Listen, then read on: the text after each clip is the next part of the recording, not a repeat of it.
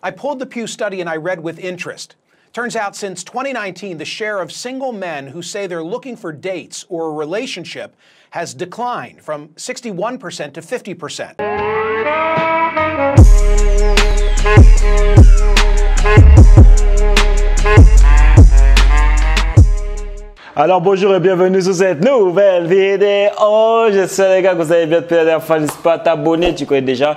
Mets un petit j'aime, de toute façon tu vas aimer. Ici ce jeu tu l'idée de la chaîne, c'est pour te permettre d'être déterminé, passer à l'action et créer ta vue sur mesure. Pour ça, il y a deux choses que je te propose, mon étude de cas, où je te montre comment j'ai fait 20 000 euros en une semaine. C'est gratuit, c'est offert avant de créer l'arnaque. Regarde quand même. Hein, et ma formation Pirate Marketing, où je te montre toutes les stratégies pour atteindre au minimum les 5 000 euros par mois. Ok, dedans j'ai rajouté des boosts complémentaires sur l'e-commerce, l'immobilier. il y a plein de choses, crypto-monnaie.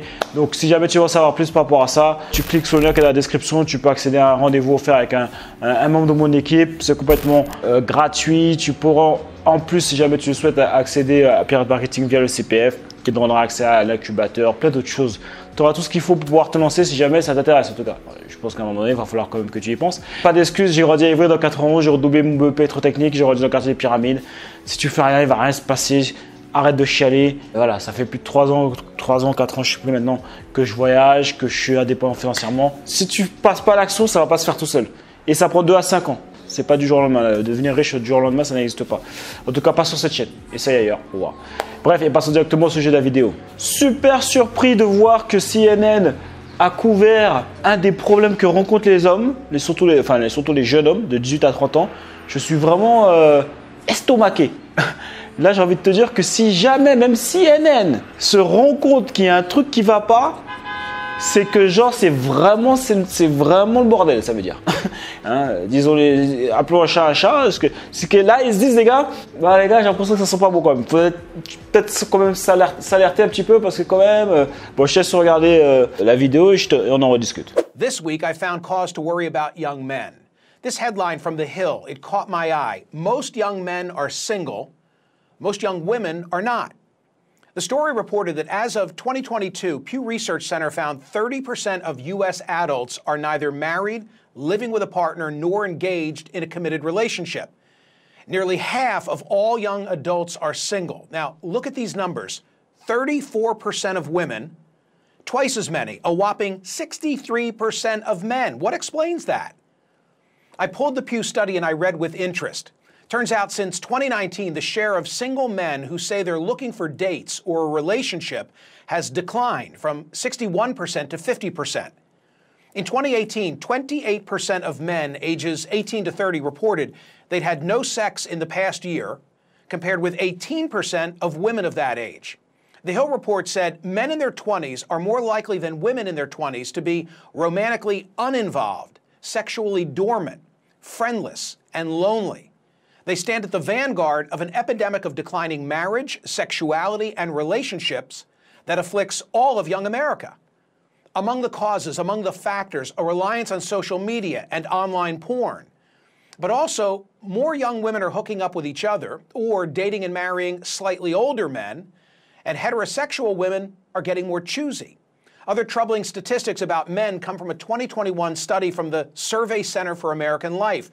They found the share of men who have six or more close friends, which in 1990 was 55%, by 2021 had shrunk by half. Meanwhile, those with literally zero close friends, which stood at 3% in 1990, has zoomed to 15%.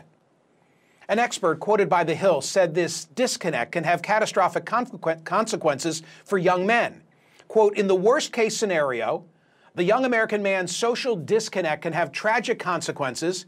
Young men commit suicide at four times the rate of young women. Younger women are largely responsible for rising rates of mass shootings, a trend that some researchers link to their growing social isolation. Well, those words reminded me of a conversation that I had over a year ago right here on CNN with NYU professor Scott Galloway.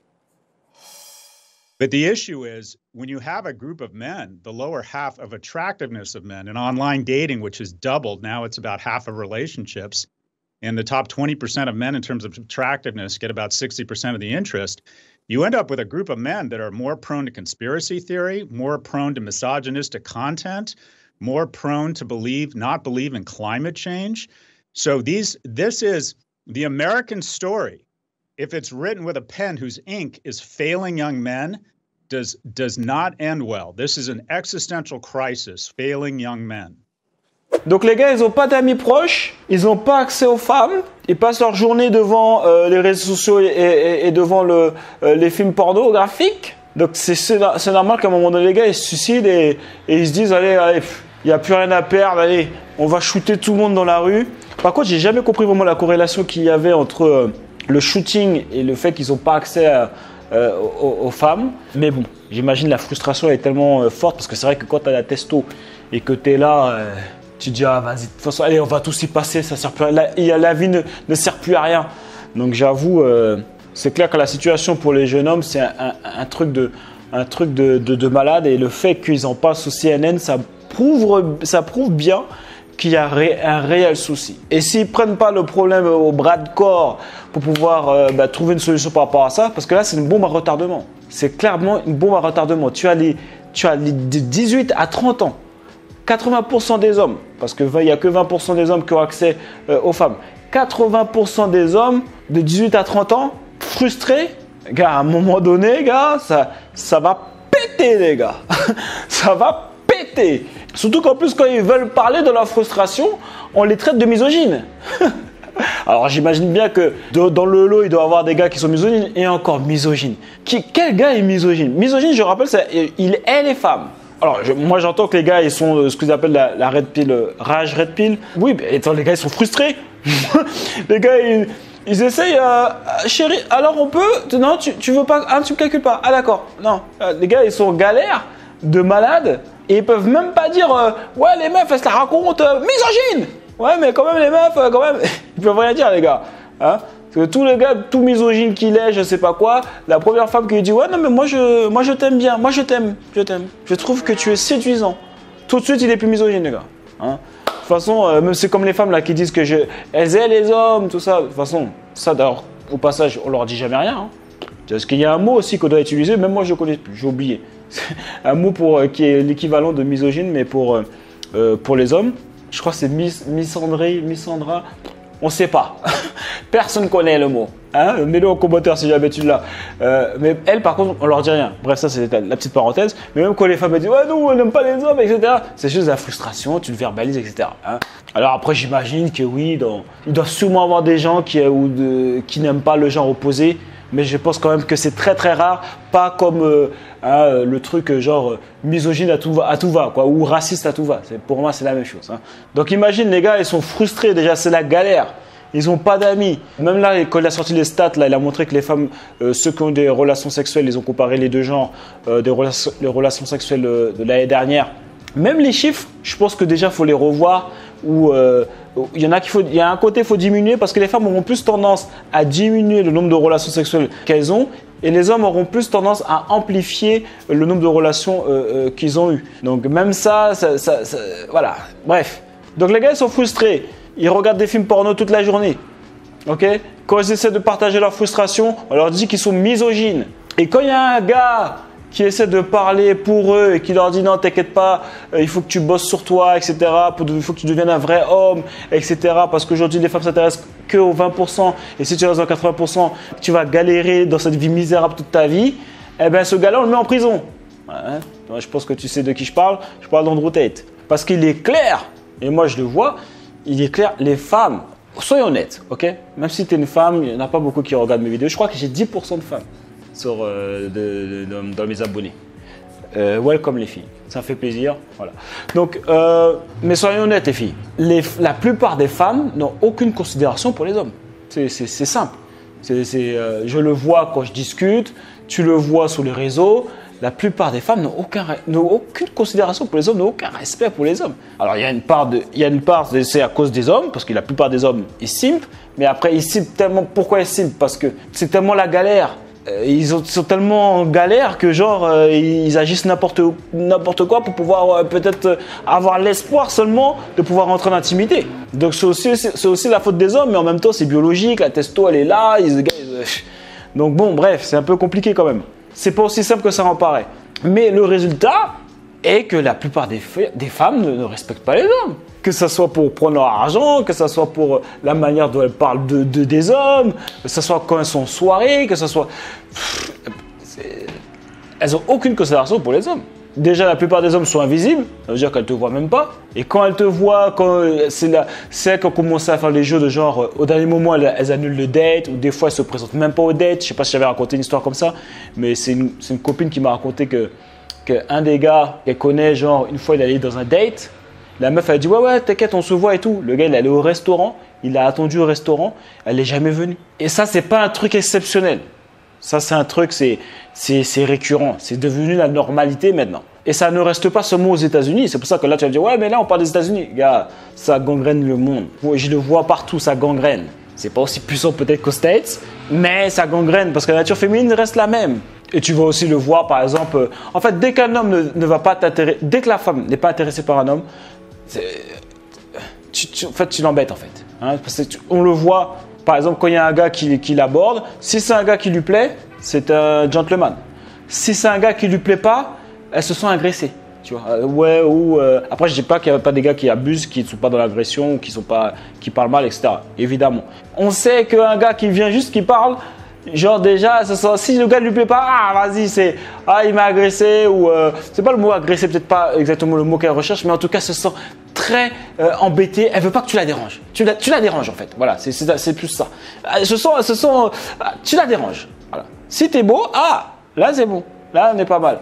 On arrive même à un stade où maintenant il faut des, des vidéos, genre elles veulent exposer les gars qui les regardent quand elles sont en train de faire du sport avec leur legging qui leur rentre dans les fesses. Mais si tu regardes, tu es un pervers, elle t'expose sur les réseaux sociaux. Enfin, tu vois Donc là, maintenant, aujourd'hui, les hommes, ils n'ont même pas le droit de regarder. Si jamais tu es un gars qui lui plaît, tu pourras regarder que tu veux, il n'y aura pas de souci pour ça. Donc après, tu vas me dire, ouais, mais c'est comment ça se fait Pourquoi ça arrivait comme ça? Bah, déjà, d'une part, tu le vois venir gros comme une maison, ben, le féministe, il est pour quelque chose. Évidemment exacerbé via les réseaux sociaux, on va pas se mentir, vu que la femme elle est hyper gamme, bah, maintenant qu'aujourd'hui bah, les femmes elles gagnent le, même salaire, bah, déjà elles vont chercher bah, des hommes qui gagnent plus en général, quoi, statut social plus élevé, euh, plus les réseaux sociaux qui vendent du rêve à tout le monde et qui fait croire que toutes les femmes sont magnifiques puisqu'elles ont l'attention de tous les hommes, elles ont des DM avec les, applications de dating, donc dans la rue, elles ont l'attention dans, tous les sens. Avant, c'était pas comme ça. Elles n'avaient pas autant d'attention. Avant, un gars moyen pouvait avoir une femme normale et vivre sa vie tranquillement. Voilà, il n'y avait pas ce genre de problème. Aujourd'hui, les femmes, elles cherchent tous les, 20%. Alors, euh, c'est super pour quand tu fais partie des 20%. Hein, donc, d'où pourquoi tu dois rester célibataire. Mais en même temps, la plupart des gars, vous n'avez pas trop le choix. Ou sinon, tu vas devoir dealer avec tous les bullshit qu'il y a que quand tu es pas, quand tu fais pas partie des 20%, que tu vas rencontrer. Ça veut dire qu'elle va flex sur toi au dernier moment. Ça veut dire qu'elle va annuler les dettes au dernier moment. Que tu vas lui envoyer un message, elle va jamais te répondre. Euh, tu vas, et en plus, ce sera même pas des bombasses. Euh, enfin, tu, tu, tu vas rentrer dans plein de galères que quand tu fais partie des 20%, bah déjà, tu enlèves une bonne partie de toutes ces galères. Ça ne veut pas dire que tu vas tout esquiver, mais déjà, tu seras déjà bien d'ailleurs. Donc, d'où pourquoi en tant qu'homme, les gars, vous n'avez même pas le choix aujourd'hui. Les stats parlent par, elles-mêmes. Parce que si j'écoute les gars, euh, tout le monde euh, c'est DiCaprio.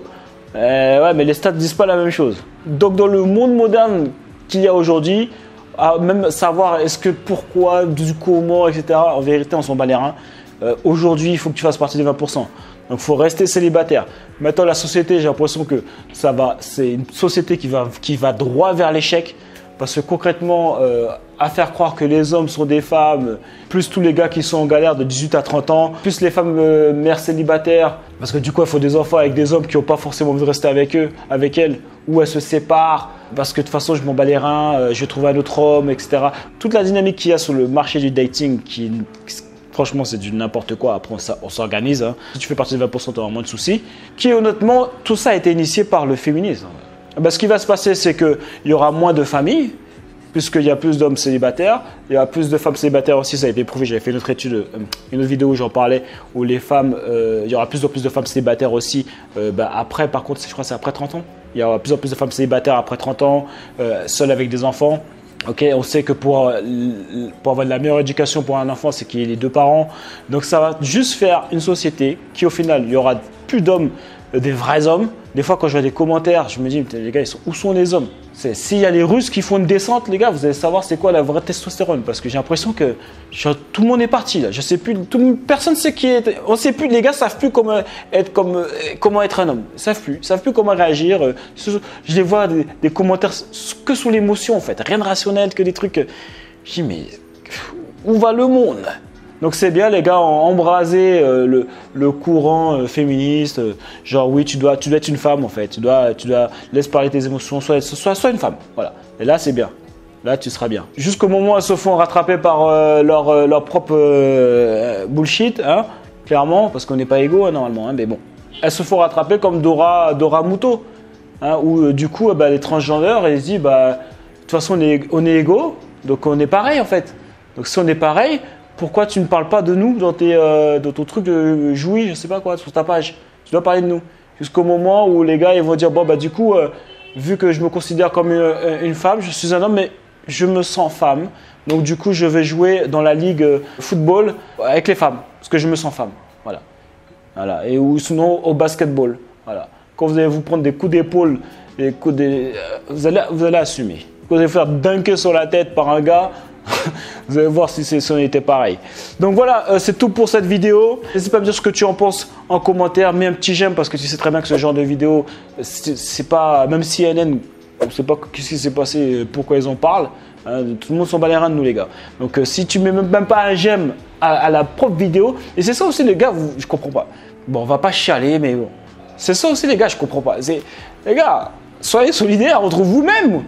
Entre nous-mêmes, quand même déjà, l'expression pour les hommes, elle est difficile, sans que tu peux pas dire quoi que ce soit sans qu'on te traite de misogyne. Donc, euh, mais, euh, mais au moins, j'aime à la vidéo, au moins, pour booster le message, pour que ça puisse encourager d'autres hommes. ok? Et dis-moi ce que tu en penses aussi en commentaire. Et euh, si tu veux aller plus loin, tu as tout en description.